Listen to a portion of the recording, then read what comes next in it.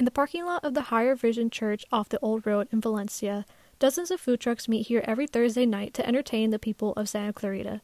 The trucks here range from all different types of cuisine, from sweet ice cream trucks to savory taco trucks. I got the fish tacos from the Del Solar fish taco truck. Um, I thought they were really good. They came with two tacos and they came with this really spicy sauce that came with it also. Um, that was really good on top of it, and yeah, I thought they were overall really good.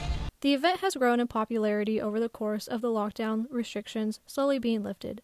Small businesses can even set up stands to promote their products. There's always something new for everyone to try. Um, to be honest, I'm kind of looking uh, forward to looking to get anything from like any of these trucks. You know, I've never heard of some of these trucks. I want to, you know, kind of explore my my food, you know,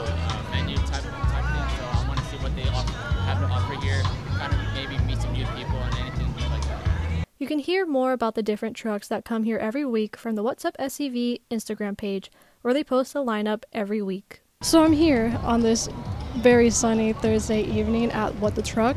I'm right in front of the Drizzle ice cream truck, and I got myself here a Strawberry Delight.